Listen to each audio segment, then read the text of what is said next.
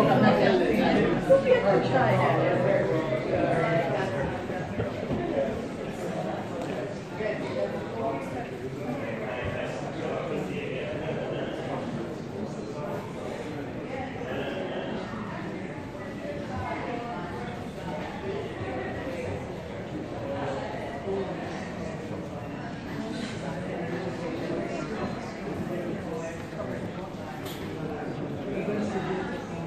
To have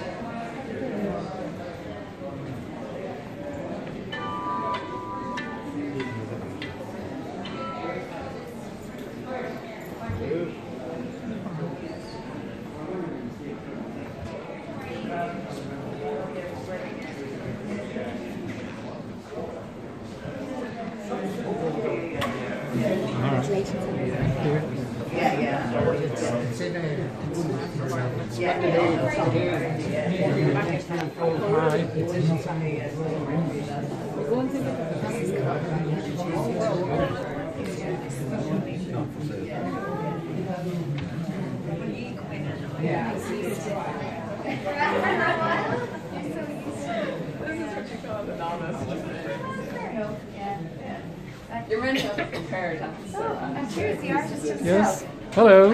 Do I get Wave. into this? Yes. Hello. Excellent work. Thank Well you. Yeah. My quick video tour.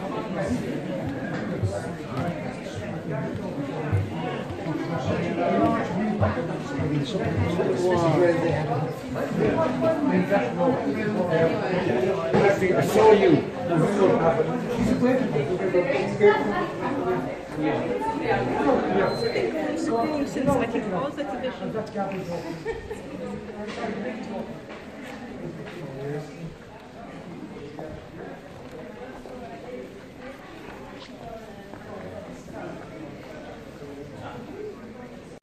my name is Carmel. I'm the manager here at Luan Gallery, and I just want to welcome you all here. And it's fantastic to see such great numbers uh, for the opening of this our autumn exhibition at Luan Gallery, Asymmetrical Warfare.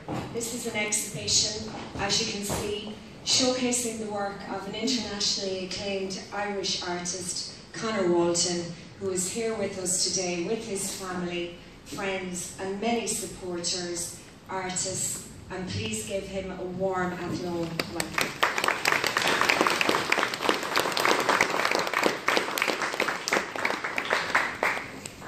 Asymmetrical Warfare is an exhibition of oil on canvas works, which masterfully executes still life, landscape, and portraiture in the European tradition of classical painting.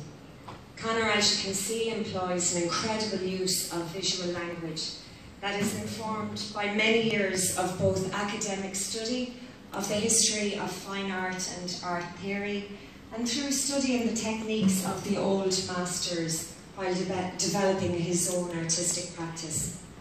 Not only is Conor a master of classical composition and convincing realism, he is also a master of language, of the language of signs and symbols, from both the Western canon of painting and from popular culture. He's very much preoccupied with creating complex, socially satirical works where he demonstrates his observations and concerns about contemporary social issues with meticulous execution. He deliberately creates these absolutely amazing statement pieces, and I think very much forcing us, the viewer, to pause and question not only our own truth, meaning, and values as individuals, but also as societies. Conor, um, as you may or may not know, has won numerous awards for his work. He has held 15 solo exhibitions in Europe and America, and he is featured in museum exhibitions across Ireland, the UK, and Europe. And his work, as you can um, imagine, is held in many public and private collections. Um, actually, I know some of you here today own um, some of Conor's work, so welcome. We are thrilled that over the next couple of months, our audience here at Luan Gallery, which is the municipal gallery, not only for Athlone but County Westmeath and indeed the Midland counties, um, that they will get to experience Conor's captivating work. It's a great opportunity for visitors of all ages, disciplines, and indeed nationalities. Athlone is an emerging tourist destination in Ireland's hidden heartlands, and during the summer months, we have a great influx of visitors from all over the world. So this is a fantastic opportunity for them to get more familiar with this acclaimed Irish artist's work. We are very privileged today at Luan Gallery and so excited to have two great art figures with us today. The first, um, Conor, a great artist and academic. The second, our guest speaker today, Robert Ballagh, who is one of Ireland's best known and most influential contemporary artists and designers and we are beyond delighted that he took the time to come today and to open this exhibition. And again, I would like you to give him a warm Athlone welcome.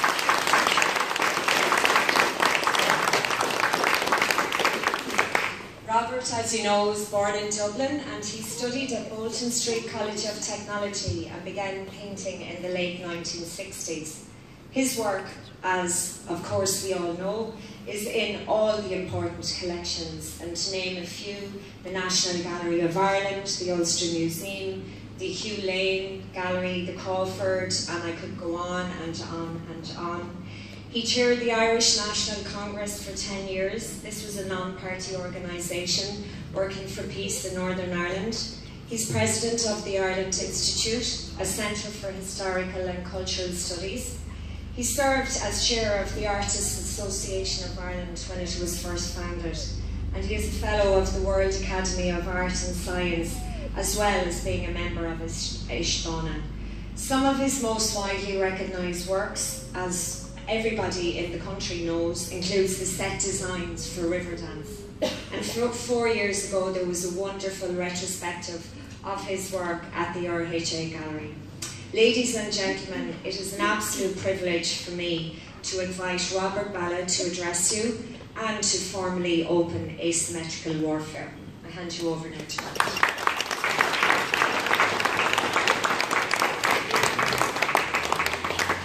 Thank you. A few weeks ago, I was interviewed by the painter J.B. Vallely as part of the John Hewitt Summer School in Armagh. And I must admit that one of his first questions caught me slightly by surprise. The question he asked was, when was your work first exhibited in public for the very first time? It only took a moment to recall the occasion because, for me personally, it represented a truly significant milestone. It was the Irish Exhibition of Living Art in 1967. It took place during the month of September in the College of Art Gallery, uh, which at the time was sited beside Leinster House in Kildare Street, where I had two works chosen for display. This, of course, means that I have been painting and exhibiting for almost 52 years. I think you'll agree that's a long, long time. Some might suggest that enormous perseverance must have been involved to keep going for such a duration. But no, because of the real passion I have for art, the journey has not been an arduous one at all. In fact, that passion drove me as a self-taught artist to slowly strive to develop the skills that I believe are essential for the creation of acceptable pictures. I also took every opportunity, both at home and abroad, to view original work by artists that I felt I could learn from. Sadly, however, in recent decades, in spite of that passion, I have frequently discovered that visits to contemporary galleries have often proved to be fairly dispiriting experiences. Instead of viewing impressive examples of the painter's art, I have often found myself exposed to what I can only describe as something that resembles a student's sociology project or perhaps an uninspiring ga gathering of detritus in, on the gallery floor, or even a flickering video presentation in a dark, claustrophobic chamber. Craftsmanship and skill dominated the history of Western art, right up until the modernist revolution that started in the last part of the 19th century. Since then, the acquisition and use of manual skills has been downgraded in terms of artistic status, while at the same time, the idea or concept has advanced. This is why, as someone who appreciates a well made picture, it is such an exceptional pleasure to visit this gallery and view the wonderful paintings by Conor Walton.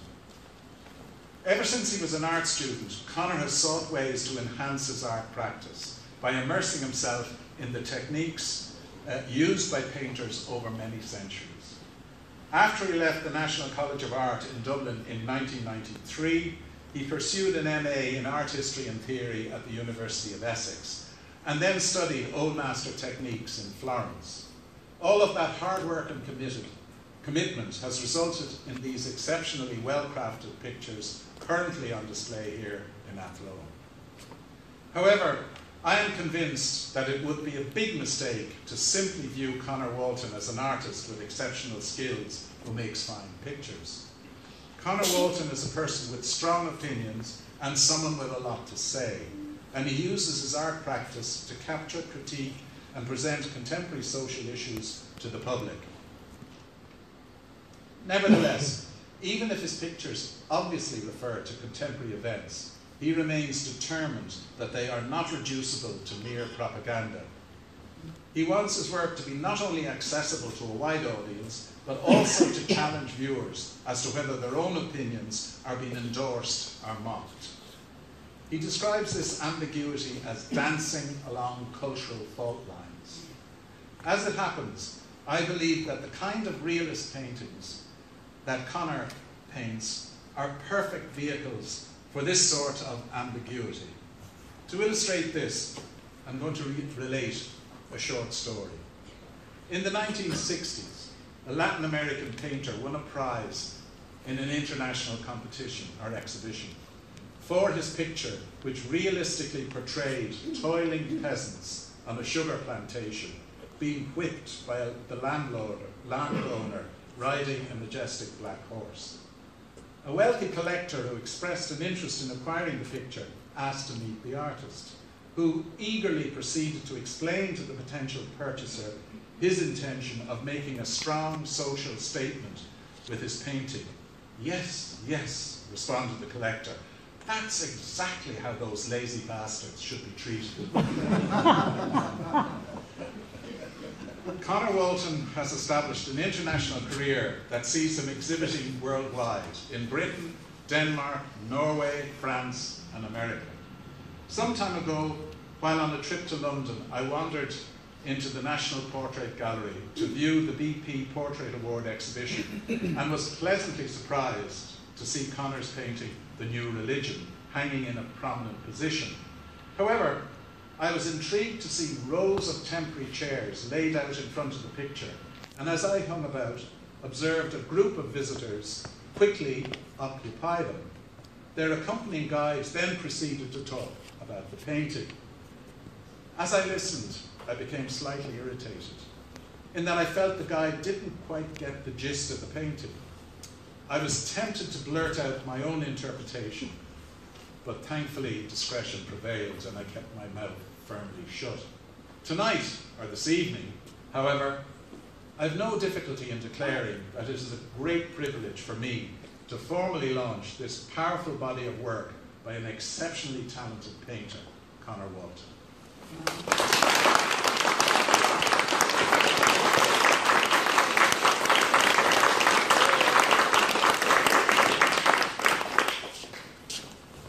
so very much, Robert, and I'm sure we'll all agree with his sentiment and his opinion of Conor's work, which is exceptional.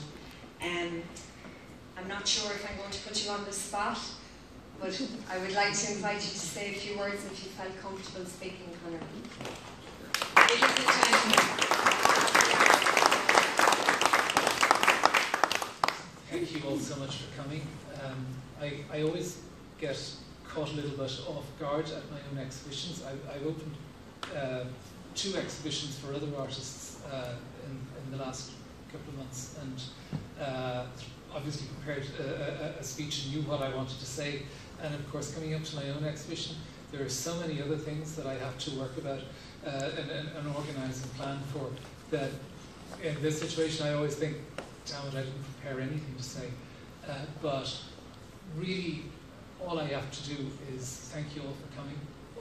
Um, uh, thank uh, Carmel uh, and uh, Simon and Emma, the, all the gallery staff, for doing such a great job of uh, hanging the show, producing the catalogue, and it's a great space to show in. I'm so thrilled to be able to present my work in such a, a brilliant space. Really delighted to this has finally come together. Um, uh, Bobby has been a, a great friend. I'm, I'm thrilled that he could open the, the, uh, the exhibition uh, back in the, um, the late 80s and early 90s when I was a student. I was looking at his work uh, as um, one of the few artists, particularly the few Irish artists, that really presented uh, both great, you know, work of great technical uh, skill and also thought, you know, the, the, the level of thought and, and uh, political consciousness and philosophical consciousness that he put into my work. And, and that has been one of uh, my uh, influences. He's certainly been one, one, one of the great influences on, me. So I'm, I'm delighted to, uh, you know, to, to, to have him uh, open the show and uh, present me in such a flattering light. Uh, I'm, I'm really honoured. Uh, beyond that, uh, I just have to thank you, everyone for coming, friends, family, and new people I've only met. It's just great to see such a great crowd here, and I hope you really enjoy the work. If you have any questions at all uh, about the paintings, uh, talk to me while I'm here. Um, I'll be back in, in Athlone for various uh, outreach programs and Q&A and whatever else. So uh, if, if, you know, please come along to those events and if I can do anything for you while I'm here, if you want a catalogue signed or uh, posters, you know, there are, there are posters, there are five each, they're steel, very happy to sign a poster, uh, and if you want to buy a picture, that'd be great too. Um, so uh, I hope that covers everything. Thank you so much.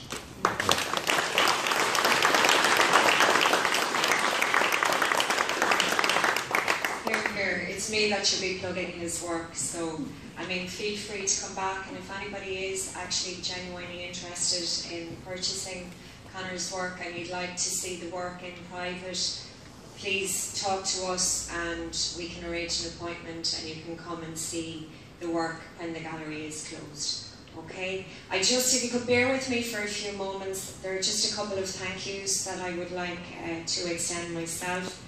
Firstly, I'd like to congratulate Conor um, and to thank him for giving us the opportunity to show his work here at Luan Gallery. Um, so that definitely needed to be said. We've wanted to show his work for a long time, so we're thrilled that that's finally been realised. Um, also, obviously, thank you so very much to Robert Ballagh uh, for giving up his time and joining us here this afternoon in Athlone to open the show. Um, I'd also encourage you to pick up um, the catalogue for asymmetrical warfare. Uh, there are extensive photos of the work exhibited in the show, and there's an incredibly um, insightful essay um, to accompany the exhibition, uh, which is a contribution from another internationally acclaimed arts figure, the American art critic, art historian, and poet uh, Donald Kuspit. So I would also like to acknowledge and thank him for that contribution. Um, lastly, I'd like to thank our team here at Luan Gallery. Um, they've worked very hard uh, to deliver this wonderful show, hang it, install it, and prep the gallery uh, for the work. Um, I'd like to thank in particular our assistant manager Simon. You've met him as you um, come into the gallery. Thanks also to Liam Kelly, Martin Fagan, Emma King, Aoife Duncan, Orla Connaughton, Emma Finneran and Stephanie McAvoy. And we, um, I'm not sure if you are aware that we also operate at Athlone Castle and between the two venues we rely very heavily on volunteer support and assistance with invigilation and guiding and I'm very delighted to um, acknowledge three of our volunteers. I know they're here somewhere. Um, I know that I've seen two Anns and I've seen Helga, so I'd like to thank them. And if you give them a round of applause, because without them, we wouldn't be able to. Lastly, I'd like to acknowledge again uh, Senator Gabrielle McFadden's presence and her husband. She's a great friend to the arts and indeed. Uh, heritage and, and tourism in general. She's a fantastic advocate and ambassador for Athlone and I'd like to thank her on a personal note for all the support that she's given me and the team here at the gallery. It's genuine support and um, I think it should be acknowledged, so thank you Gab. Um, the one last thing that I would like to say is we think, um, we know that today uh, the gallery celebrates 100,000 visitors uh, we're not sure if Robert was the 100,000 visitor, but all the press statements are going to say that he was. So it's just a, a double whammy for us today. So without further ado, that's the formalities over, folks. Enjoy the rest of the afternoon. Take the opportunity to speak to both artists, to Gab, and to really enjoy the work. Have a glass of wine and make an afternoon out of it. Thank you for coming. Thank you.